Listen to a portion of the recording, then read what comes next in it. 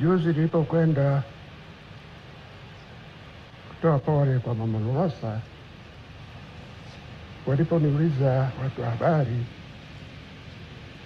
nilisema Edward Lowassa na mimi tulikuwa rika tofauti, tunatoka, tunatoka katika makabila ambayo yanaheshimu rika. Nilisema yeye alikuwa katika rika la tatu, mimi nikiwa la pili, kwa maana ya kushika nafasi za uwaziri mkuu. Rika la kwanza alikuwa Mwalimu na mzee Kawawa, wakatukabidhi rika la pili, tukahudumu. Kuanzia Sokoine, Msuya, Salim, mimi na Mbarechera. Baada ya hapo, vika hilo ikabidi lipishe vika linalofuata, na wakati wote tulikuwa namwambia Edward, wao ni rika la tatu, yeye Sumaye na Pinda ni rika la tatu. Kwa uhusiano huo, hatukuwa watu ambao tunakuwa karibu kupiga porojo. Hapana, tulikuwa tunakutana, tunabadilishana mawazo kama kuna jambo muhimu. Na hilo nilikuwa nimemfahamu tangu alipokuwa kwenye chama na mimi nikiwa kwenye chama, nikiwa kwenye secretariat, nikiwa katibu wa ulinzi na usalama, na yeye anafanya kazi kwenye secretariat chini ya kiongozi wa itikadi na siasa ndugu Ngombale Mwiru. Baadaye ndio tukaingia katika uongozi. Alipoingia kwenye baraza la mawaziri, sisi tulikuwa tulikisha staff, lakini tulikuwa tunakutana kubadilishana mawazo, na wakati ambapo alikuwa anaona kuna jambo muhimu sana, alikuwa ananitafuta. Nitataja mambo mawili. La kwanza ilikuwa mwaka tisini na tano, yeye na wengine pamoja na rais mstaafu tuliingia kwenye kinyang'anyiro cha kuteuliwa kugombea urais. Edward hakuvuka kamati kuu, na ile ilimuumiza sana, na ilimuumiza zaidi alipoambiwa aliyetia msumari ni Mwalimu. Baada ya pale, Edward nitafuta, alikuja nyumbani kwangu Oysterbay akisema ana uchungu sana kwamba kumekuwa na tuhuma, hakuweza kusikilizwa, wakaamua huko hawakumtendea haki, na anasikitia zaidi kwamba Mwalimu ndiye alitia msumari. Nikamwambia Edward, haya ni mambo ya kisiasa, isije ikakuvunja moyo, endelea, bado wewe ni kijana, miaka arobaini na mbili, una muda. Nkamshauri asikae naye moyoni, aenda mwone Mwalimu. Amwelezi Akasema nitampikiaje? Pale pale nipigia msaidizi wa Mwalimu. Na ili nzungumze na Mwalimu, nikamwambia Edward ana jambo lake e, ingefaa ukaonana naye kamweleza. Lowasa alikwenda kwa Mwalimu wakazungumza, pamoja na uchungu aliyokuja hakukata tamaa. Hilo lilikuwa la kwanza. La pili ilikuwa mwaka elfu mbili na nane wakati anajiuzuru, nilikuwa hapa Dar es Salaam, nikasikia mazungumzo kwenye Bunge, akasema hakutendewa haki kwa sababu wamemhukumu wame bila kumsikiliza.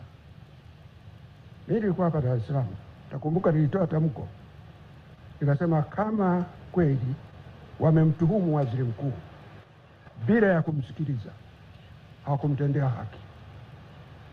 Basi baada ya mambo yale akanitafuta, tukazungumza.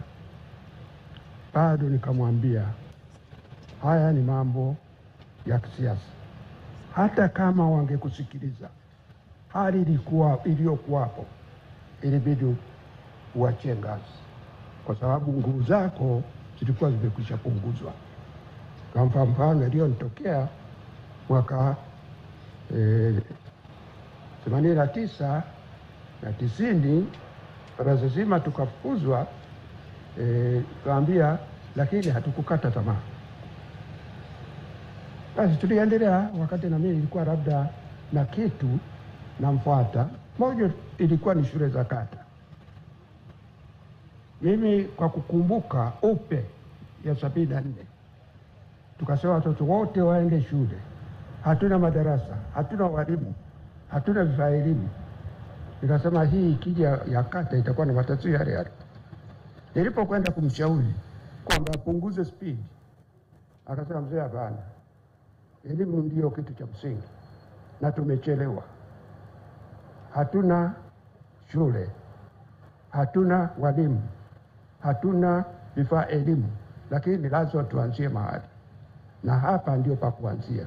Tukizijenga shule hizi tutapata msukumo wa kupata walimu na vifaa elimu, na mnajua alichofanya, wengine wamesema hiyo, lakini Edward Lowassa alikuwa ni mtu mwenye imani, imani kwamba ana wajibu wa kutumikia taifa. Alikuwa na maono yake, alikuwa na vipaumbele vyake, na alionyesha katika utumishi wake. Hakuwa mtu, hakuwa mangimeza, alikuwa ni mtu wa vitendo. Alikuwa anafanya kazi saiti na yeye hakuwa wakati wote mliofahamu, alikuwa ni binadamu, ana mapungufu kama sisi, lakini hakutaka kugombana na watu katika maisha yake. Katika matukio yote yaliyotokea, kuna maneno mengi sana yalisemwa juu ya Lowassa. Alipata kejeli, alipata matusi, lakini hakurudisha hata siku moja. Alikuwa ni mvumilivu sana, kiongozi mvumilivu. Pamoja na mapungufu mengine, Lowassa alikuwa mvumilivu sana, na mimi tuliendelea kuwa na uhusiano huo popote alipokuwa, alipokuwa katika CCM, alipokuwa katika serikali, alipokuwa katika Chadema, aliporudi hata CCM. Uhusiano wetu ulikuwa ni kama kaka na mdogo wake, kukiwa na magumu tunashauriana na hata eh, afya yake ilipotetereka, nilipopata habari, madaktari walikuwa wanasema tumwache apumzike, kusiwa watu kumtembelea. Lakini baada ya kuzungumza na mama Lowassa, kaona niende hata kumwona. Nilikwenda Muhimbili nikamwona. E, haisaidia sana kwa sababu alikuwa katika hali ambayo hatuweza kuzungumza, na baadaye alikwenda Afrika Kusini.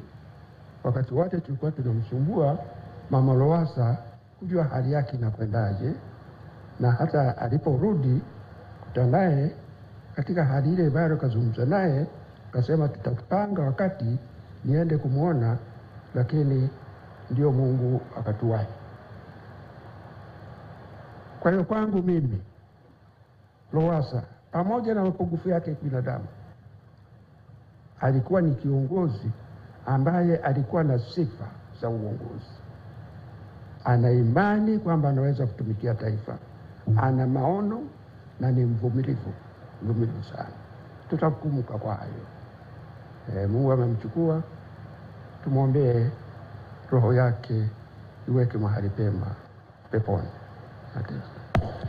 Asante. Kwa heshima ya taadhima. Karibu sasa.